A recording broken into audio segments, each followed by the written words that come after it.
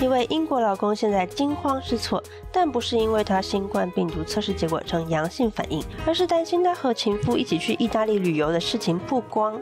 他毫不知情的老婆待在他们的豪宅被居家隔离，他不知道她老公为何会染上病毒。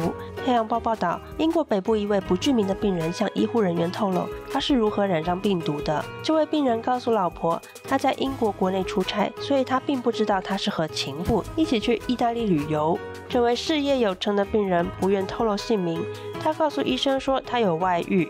一位消息人士告诉《太阳报》，这位病人成为公共卫生官员谈论的话题。假如情况不是那么严重，这会是个有趣的案例。这位男性坦诚了他在意大利所做的事，而他老婆却一无所知。他太太还以为他是在出差时染上病毒的。虽然病人向医护人员坦诚一切。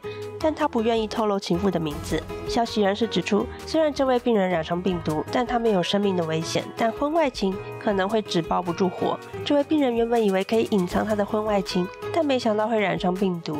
即使如此，这位病人还是松了一口气，因为他能在航班取消前飞回英国。他现在惊慌失措，但不是因为染上病毒，而是因为他的婚外情。